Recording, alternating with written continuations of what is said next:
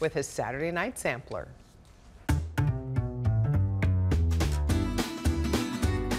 You've got to check a lot of boxes in order to be called a true Neapolitan pizza. You've got to use double zero, a finely milled flour from Italy. Got to have San Marzano tomatoes, preferably from near Mount Vesuvius. Got to have fior di latte or fresh mozzarella.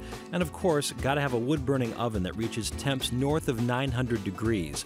All of these boxes are checked at Napoli per Tutti in Schaumburg, where a former cook from Ravenswood's Spaccanapoli now makes the pies. Our uh, tomatoes, cheeses, and also you got you have to have a really good oven. Everything comes together. It's not just one uh, one item. It's everything. We use Caputo flour, zero zero blue, and uh, for cheese we use Grande. That is, uh, this cheese is coming from um, Wisconsin. is really really good. The pizzas take about 90 seconds to bake, and beware those of you used to crispy, crunchy crusts. This is a wetter pie, softer in the middle and on the edge, so there's no getting it well done. There are several flavors to choose from, including prosciutto or crumbled sausage with rapini and smoked mozzarella. Once the pies are drizzled with a bit of olive oil, De Leon stretches them ever so gently around the base of a pizza peel, then promptly transfers them to the oven, where that stone deck starts baking it instantly.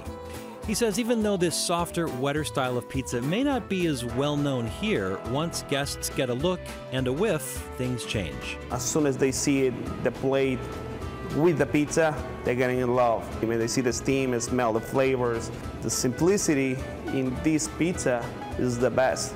And here's another sign just to show you how authentic the Neapolitan pizza is here at Napoli per Tutti.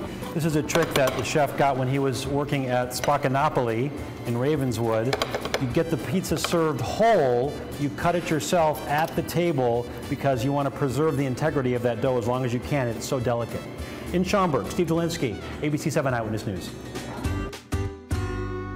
Ah, in this week's extra course, that's Steve's web only video. He takes a look at one of the restaurant's specials, just in case you don't feel like pizza handmade gnocchi. Mm. To see that video or get more information about Napoli per Tutti, just go to abc7chicago.com. Hey, if you like that video, be sure to subscribe to our ABC7 Chicago YouTube channel.